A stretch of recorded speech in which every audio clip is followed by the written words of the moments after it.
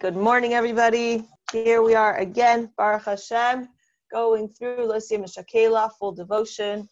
I am this this mimer. Not not only did it change my life the first few times I learned it, but now going through it again, I'm like on fire. So I want to thank you guys very, very much for encouraging me to do this year and keep up with it. Um, okay, so let me just fix that a little bit? Okay. So I, I my husband and I decided to do a challenge for ourselves because how do you uh, there's a baki, a baki in Chassidus is somebody who knows Chassidus very, very well. And my husband's friends with him. And he once said to my husband, How do you know that you know Chassidus really well? When you're able to explain it to a random stranger, he doesn't even have to be Jewish. You're able to explain the concepts to a random stranger on the street. Find anybody on Eastern Parkway and say, "Hey, can I explain something to you?" And you let me know if you get it. So once you're able to explain it, which means you you you you in a certain sense you you don't you don't have the ability to use the chassidish lashon as we say, right? So it's like you can't say kesser and not and whatever.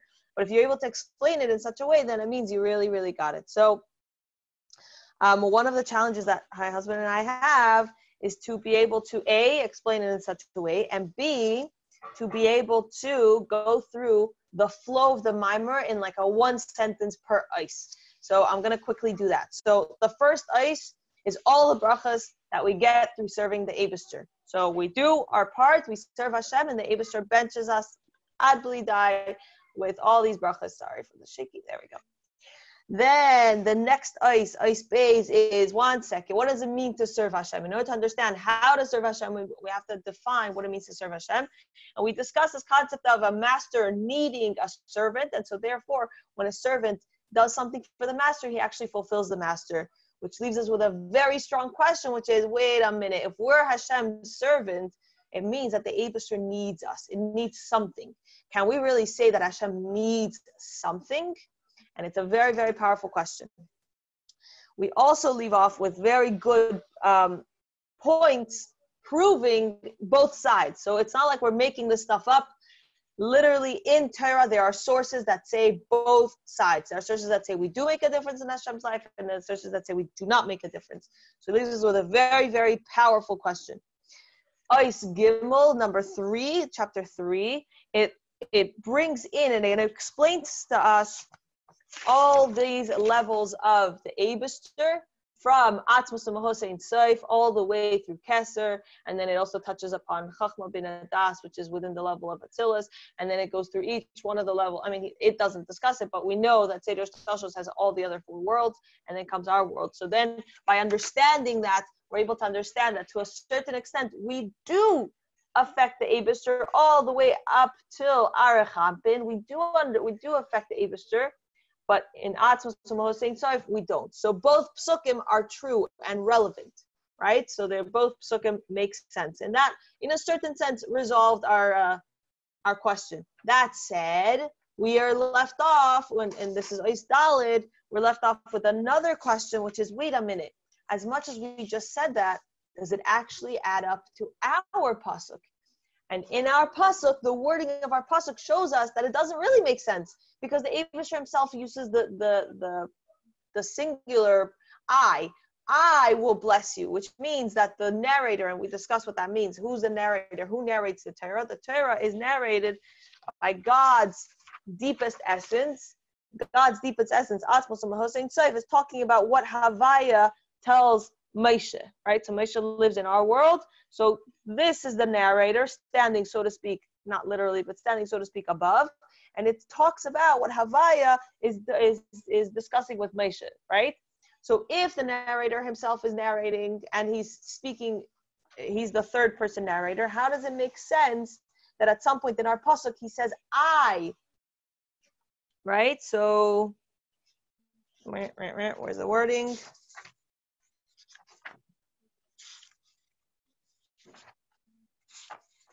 Where is the wording? Sorry, guys, I lost the. Okay, there we go. I'll remove illness, right? I'll remove illness from the midst. What? Wait a minute. I thought we just said that Atzmus and the doesn't get involved with us. So it leaves us off with another question like, whoa, whoa, whoa. We thought we answered the question, but in reality, even in our pasuk shot and in, in, the simple translation, the simple meaning of the pasuk that we're going that we're discussing, it doesn't add up.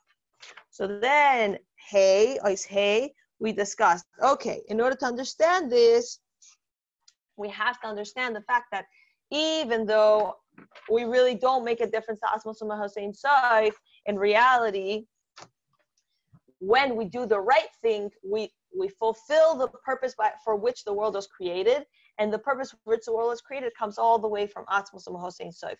So does Atzmus Ha'Ein Sof, the depth, the, the deepest part of the Abishter, does he really care whether we, uh, you know, whether we, we, we first flipped it this way and then flipped it that way, whether we cut from the top or whether we cut from the bottom, it doesn't really make sense what we did. How we did it, it doesn't make sense. But the end result that we accomplished what we were put into this world to do actually makes a difference to the Abishter. So how does this affect us? Because if if we live in this world, right, and we do the right thing, we get up early and we join a mimer shiur, we we daven, we try and think about what we're doing during our day and how can we be a proud Jew even in our work schedule or even you know at some point if we go back to going on the subway or whatever, like how can I be uh, uh um, making the Abishter proud throughout my day? And when I do that, when I do that, I affect all the way to Atzmus Soif. And and the fact that we fulfilled His will. Right? That was a lot more than uh, one sentence. I apologize. Okay, so now we are at the point of what we learned yesterday which is that the basis of making that relationship with Hashem, the basis of everything in this world is Kabbalas ol, is this level that I was created by Hashem, and so therefore I am the servant of Hashem, and so therefore I do the will of Hashem. And that needs to be the basis.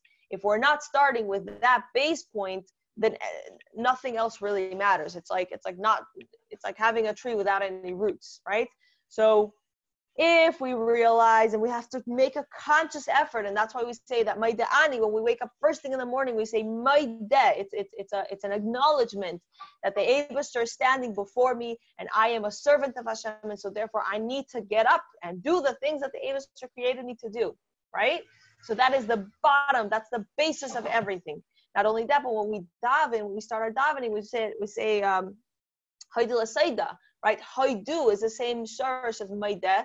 It's acknowledgement. It's turning our, our, our, acknowledgement to Hashem and say, okay, I am the Abishter servant. The Abishter created me and he created me with specific things I need to do. And so therefore I have to go. Bizrizus, I have to go get up and I have to go do them. And we have to live with that concept for the, our entire day. That said, let's discuss today, because today is very, very avoided. It's very exciting.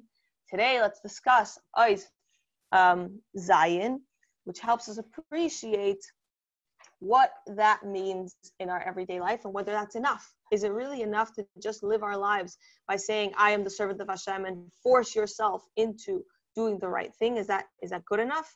Okay. So in order to understand this, I want to give a preface and an introduction. My main, in, okay, so we're gonna discuss in this ois how this whole thing affects our animal soul, our godly soul, and the tzitzis of the world. Okay, so our nefesh bahamis is our animal soul, our nefesh Elokis is our godly soul, and the tzitzis are the sparks that are hidden within the world. Okay, so what does all of this mean, and how does this apply to our lives? So many times, and I, I, I learned Chassidus for many, many years, without translating into practical Avodah, into practical my everyday life, what these things meant. And so by the end of the Maimer, I'd say, wow, what a nice, lofty concept. And I wouldn't be able to translate it into my Avodah, into, into what I'm going to do differently, how I'm going to see my life differently. So that's why I want to start by translating it into very practical terms. That way, when we read the Maimer, it's going to be a lot more exciting. It's going to make a lot more sense. Okay? So, what's your Nefesh Bahamis? Your nefesh bahamis is the voice inside of you that is, in a certain way, self-centered. It's pretty childish. So, for example, the the voice that comes and says, you know, just sleep in a little longer. it's, it's, no one really cares. Who cares if you come if you come late, whether to the shir or to davening or to work or whatever. It's a childish thing, you know. A child doesn't understand the greater repercussions of their decisions. So, so too, our nefesh Bahamis is pushing us to not really care about the greater repercussions of our of our decisions. It's very immature.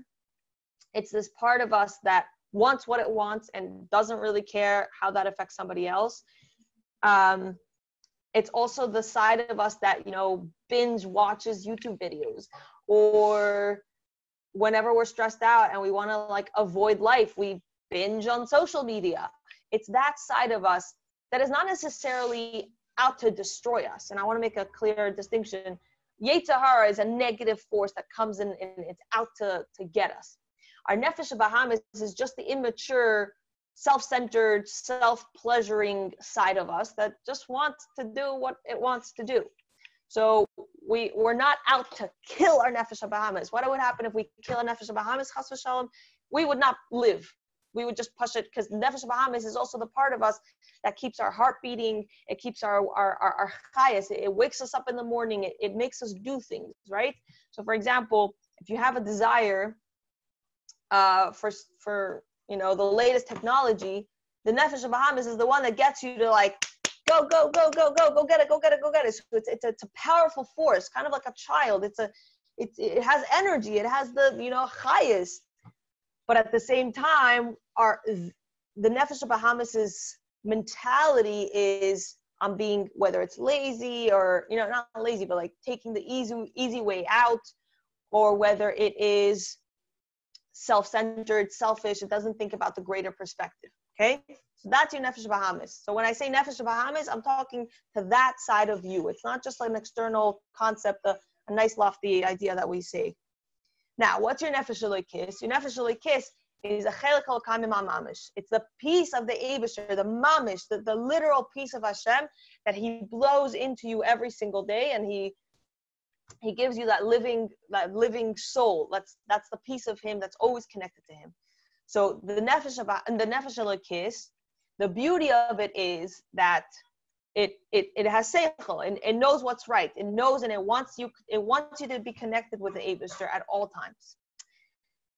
That said being that it's so and, and this is discussed in many other different maimarim but being that it's so lo- not lofty but it's so godly and it's so pure and it's so wanting you to do the right thing, it's hard for it to be in this constant struggle over you in in the body, right? Because the nefesh of Bahamis wants you to uh, binge on some YouTube or Netflix or social media, whatever. And meanwhile, the nefesh Elokis is coming and saying, please, please, just can we can we go daven? Can we go learn? You haven't said to Tehillim yet. Can we go sit Tehillim? Can we connect to the Abishter? right? So this battle is very hard for it. But we have to realize, in the Mimer, we're going to discuss it very soon, we have to realize that the Abishter created this battle in order for the Nefesh kiss not to live in a point of being of self-destruction, like, oh, this I, am in torture. I'm, I'm getting tortured all day, every day because there's a there's a strong, powerful, childish force that's taking over the body and it tells it to do all these things. And I, I, I'm, I'm living in, in gullus. And that's essentially in a certain in a certain sense what it does. But that's not its purpose. Its purpose is to take the nefesh of bahamis and to teach it how to do the right thing. So right so a parent comes and tells a child and says you know wouldn't it be so nice we go daven come let's daven together. I'm going to show you how beautiful davening is. So we take we we we um, we take the force of the child and we sing songs and we explain to him how the Abishter matters and how much we love him and all these beautiful things. And we're able to, to channel the, the energy and the force of a child to do the right thing. And that is the job of the Nefesh, uh, of the Nefesh Elokis. Our godly soul is sent to this world to elevate not just the body, because it, it, it encourages the body to do the right thing, but to elevate and transform the energy and the, the, the will of the nefesh of Bahamis, of the animal soul, to want to do the right thing. Okay? Okay. By doing this, we're elevating. Give me a second. By doing this, we're elevating sparks in this world. That's a much harder topic to describe, but just realize that every single time you turn on your phone and you join a Zoom shiur or you listen to, you know, a shiur on, on online, you're elevating sparks in your phone. You're elevating the sparks of the internet. You're elevating and, and you're you're raising up these physical things that seem to not we're not able to necessarily see the spark of Hashem inside of it, but the fact that you're using it for something good, you are you're finding that spark of the Abishur inside of it, and you're raising, you're lifting it up um, to to to godliness. You're you're elevating it. Okay. Now that we said this, ten minutes, we're doing good. Okay. So I hope that made sense because I really, really want that everything we read should have practical applications. So I hope you guys now take a moment. I want I want to give a challenge for today and Mitzvah for Shabbos. Take a moment and once you make a decision, let's say to eat breakfast or you know, to watch something or to, to make whatever activity, take a moment and say, okay, where did that come from?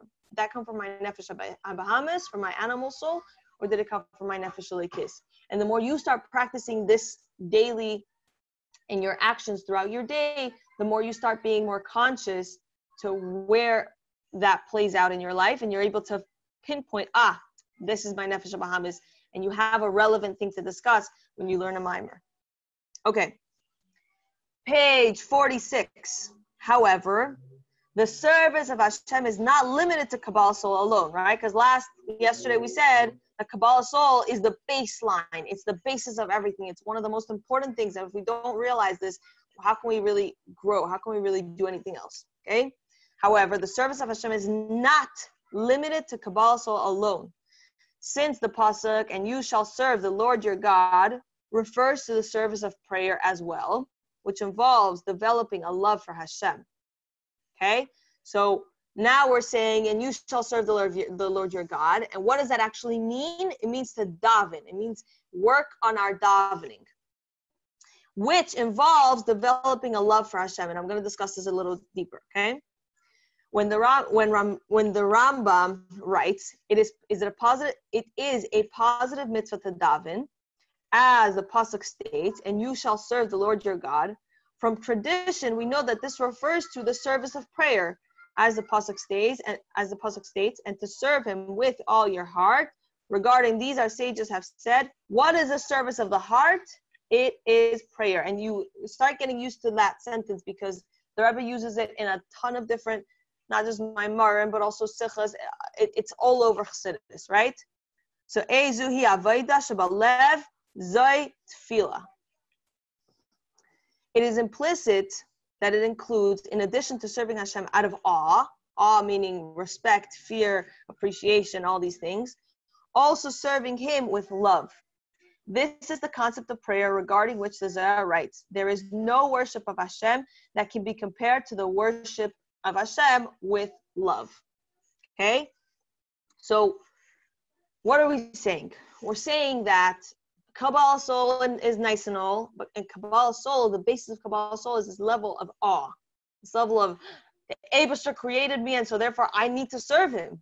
That comes out of more of a respect, out of a love, out of, uh, sorry, out of awe, out of a, a, a certain sense of fear, right?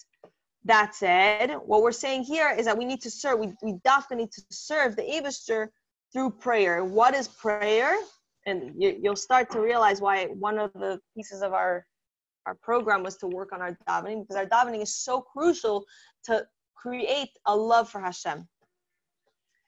The reason why prayer must involve serving Hashem with love is because prayer affects both the godly soul and the animal soul. The Hebrew word for the for prayer, tefillah, is related to the word teifel, to connect, since through prayer the godly soul is connected with its spiritual source, right?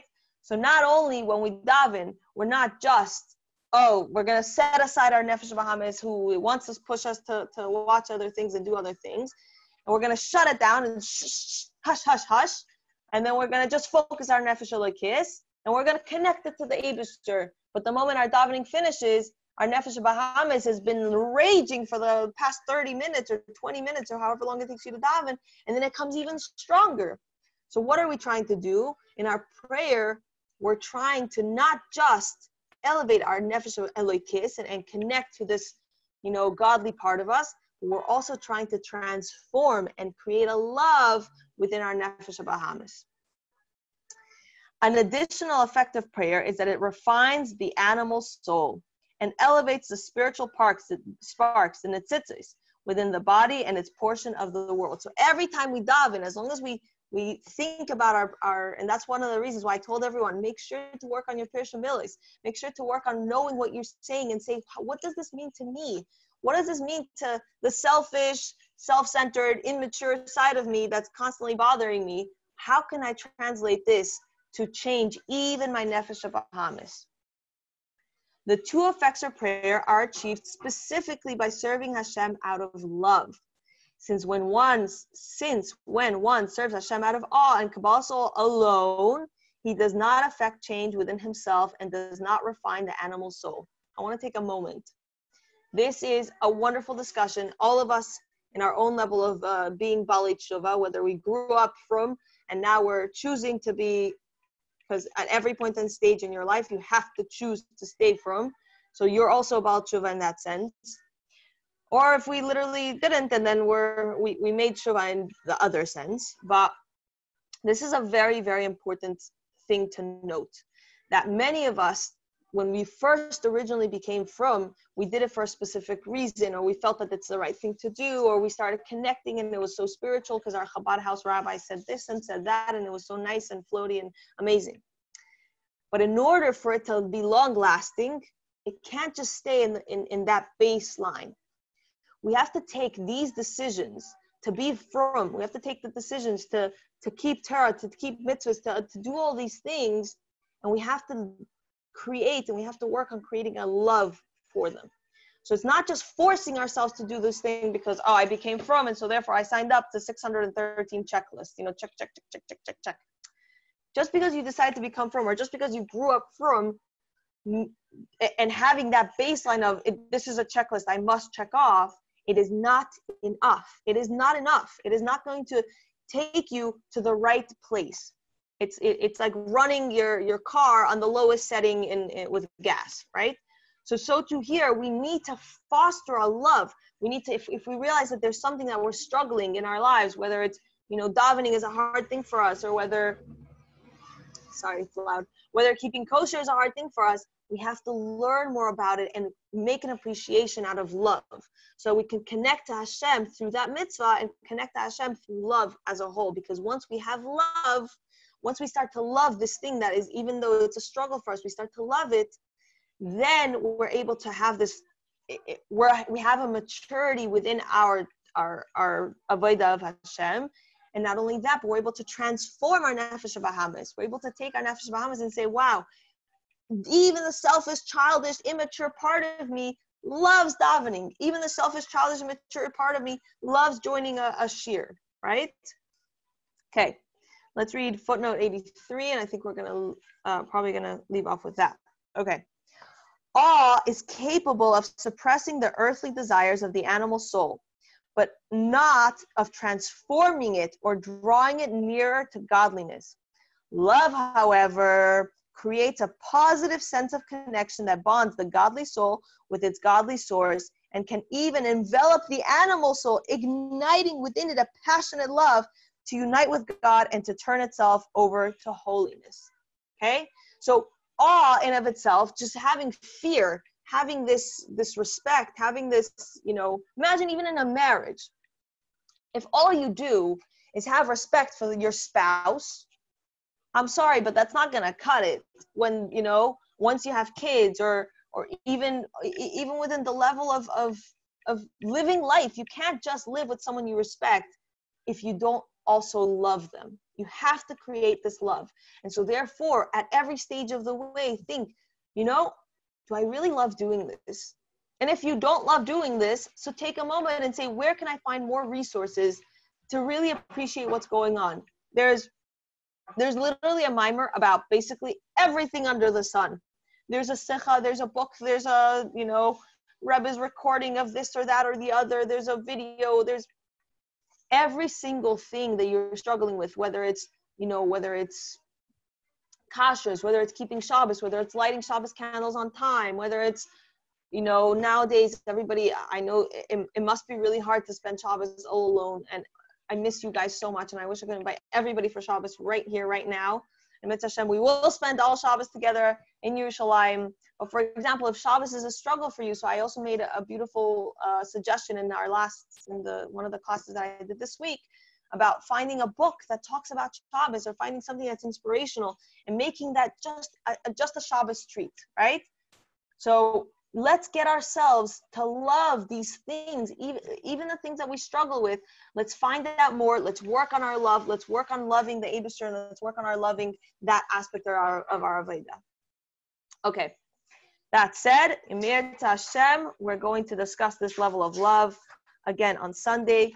Um, I really hope everybody has at least one version of the mimer, and if you're able to go and review it on Shabbos and get yourself excited and make it yours. If you have any questions, please feel free to send them over my way, and I'm more than happy to answer either after Shabbos or Sunday whenever I turn on my phone next.